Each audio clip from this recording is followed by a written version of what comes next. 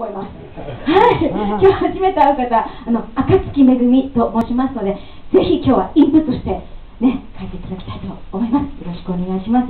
さあ、それでは、もっと多分もう洗脳されてしまうかのように、次の曲はすごいですよ。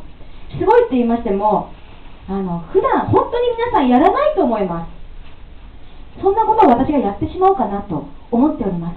普通はね、やっぱ自分の PR、そして自分の歌をアピールするんです。皆さんもちろんです。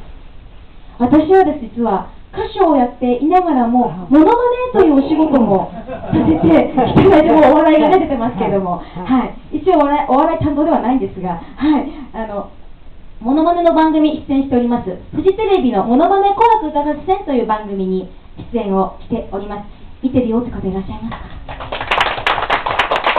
ありがとうございます。嬉しいです。